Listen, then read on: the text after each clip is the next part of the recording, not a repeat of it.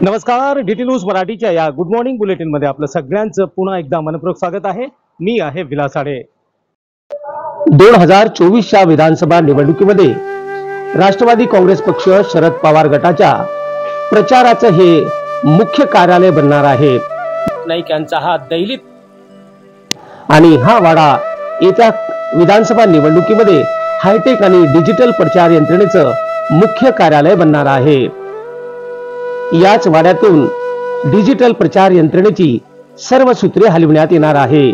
आणि संपूर्ण मतदारसंघामध्ये क्षणाक्षणाचे अपडेट मतदारापर्यंत कसे पोहोचतील याबाबत ही प्रचार यंत्रणा राबविली जाणार आहे.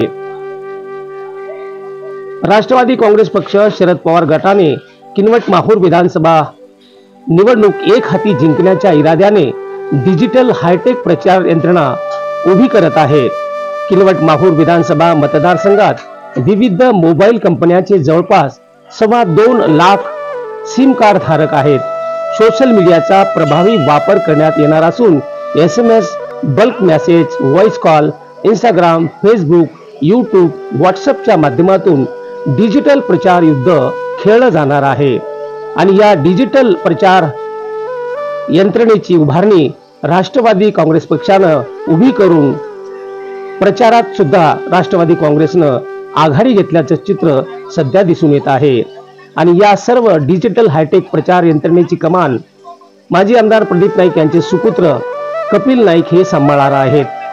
दहिली तांडा येथील या वाड्यातनं हे अत्याधुनिक डिजिटल प्रचार यंत्रणा कार्यान्वित होणार आहे.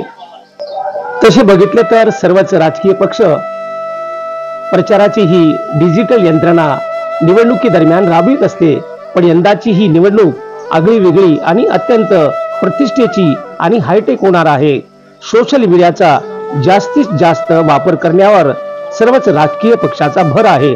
पण किनवट माहूर विधानसभा मतदारसंघामध्ये मात्र हायटेक प्रचार यंत्रणेमध्ये राष्ट्रवादी काँग्रेसने आघाडी घेतली आहे.